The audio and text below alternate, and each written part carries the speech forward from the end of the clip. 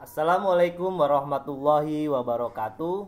Pada video kali ini kita masih belajar tentang integral tak tentu. Di sini ada rumus lanjutan yaitu adalah integral AX pangkat N dx sama dengan A per N tambah 1 X pangkat N tambah 1 dengan N tidak sama dengan 1 Jadi integral itu dilambangkan seperti ini ya Nah di sini ada contoh soal. Contoh soal yang pertama yaitu adalah integral 10x dx sama dengan. Nah, kita akan gunakan rumus ini, yang rumus yang ketiga ini.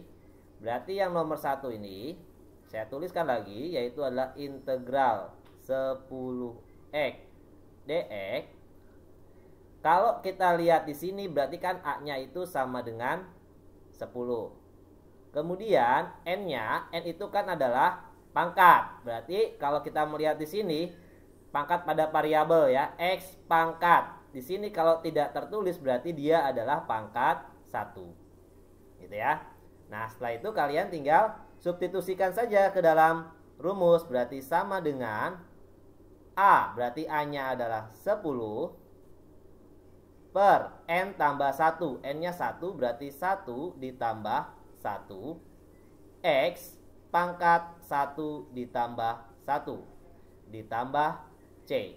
Berarti sama dengan 10 per 1 tambah 1 2 X pangkat 2 plus C. Atau disederhanakan menjadi 10 dibagi 2 adalah 5 X pangkat 2 plus C. Selesai. Bisa dipahami ya? Nah contoh selanjutnya yang nomor 2. Yang nomor 2 yaitu adalah integral 3 akar pangkat 4 dari X pangkat 3. Nah, dx. Ingat kalau bentuk akar kita sederhanakan dulu menjadi bentuk pangkat. Maka ini bisa menjadi 3 X pangkat berapa? Pangkat 3 per 4 gitu ya.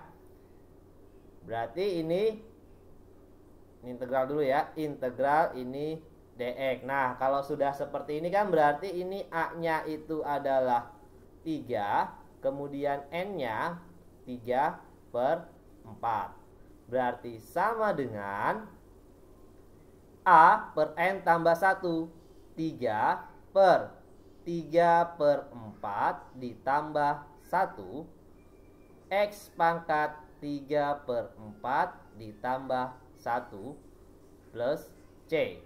Maka sama dengan 3 per. Ini 3 per 4. Satunya bisa kita rubah menjadi 4 per 4. Maka yang atas juga pangkat sama. 3 per 4 ditambah 4 per 4. Plus C. Maka sama dengan 3 per ini 3 ditambah 4 7 per 4 X pangkat 7 per 4 plus C.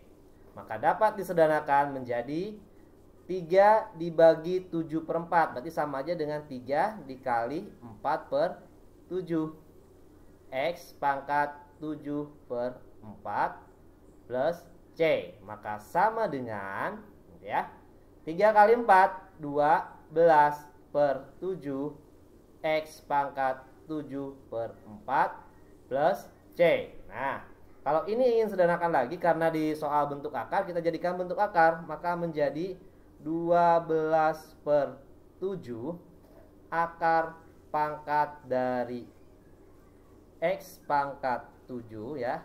Ini akar pangkat 4 ya dari X pangkat 7 plus C. Selesai.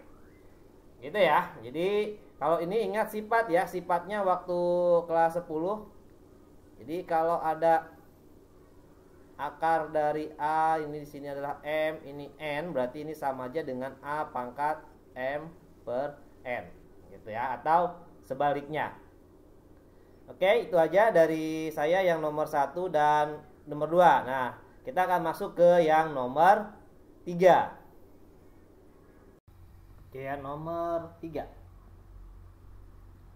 Nomor 3 itu adalah integral dari 6 per x pangkat 2 dx. Ini kan bentuknya adalah pecahan, maka ini kita jadikan dulu ke bentuk pangkat ya. Jadi pangkatnya ini kita jadikan ke atas, maka menjadi 6 x pangkat 2 berubah pangkatnya menjadi negatif 2 dx.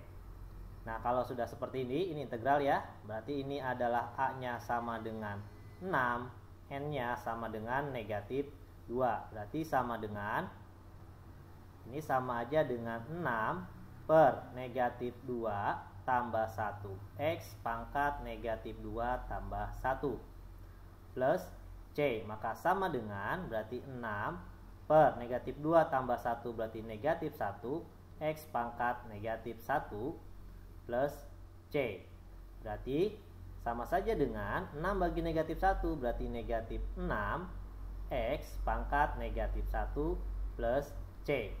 Nah ini kita akan jadikan ke bentuk pecahan lagi seperti ini ya menjadi negatif 6 per X pangkat 1 dan satunya tidak perlu ditulis ini plus C. Oke ya ini nomor 3. Nomor 4 yaitu adalah integral dari setengah X pangkat 2 per 3 dx. Berarti ini adalah A-nya sama dengan 1 per 2, kemudian N-nya sama dengan 2 per 3. Maka sama saja dengan setengah per N tambah 1, berarti 2 per 3 ya, N-nya 2 per 3 ditambah 1, X pangkat 2 per 3 ditambah 1 plus C. Maka sama dengan 1 per 2 per 2 per 3 tambah 1 berarti sama aja dengan 2 per 3 ditambah 1 itu kita rubah. Di sini kan penyebutnya 3 berarti menjadi 3 per 3 X pangkat 2 per 3 ditambah sama satu juga dirubah menjadi 3 per 3 plus C. Maka sama dengan sini saja. Sama dengan 1 per 2 per 2 per 3 ditambah 3 per 3 berarti 5 per 3 X pangkat 5 per 3 plus C. Maka sama dengan 1 per 2 dibagi 5 per 3 berarti ini sama aja dengan 1 per 2 dikali dibaliklah dia. 5 per 3 dibalik menjadi 3 per 5 X pangkat 5 per 3 plus C. Maka sama dengan setengah kali 3 per 5 berarti 3 per 10 X. Pangkat 5 per 3 plus C. Karena di sini adalah eh, 3 per 10 X pangkat 5 per 3 berarti hasilnya adalah seperti ini ya. Jadi pangkatnya adalah 5 per 3 oke selesai sampai sini aja dari saya cukup sekian. Assalamualaikum warahmatullahi wabarakatuh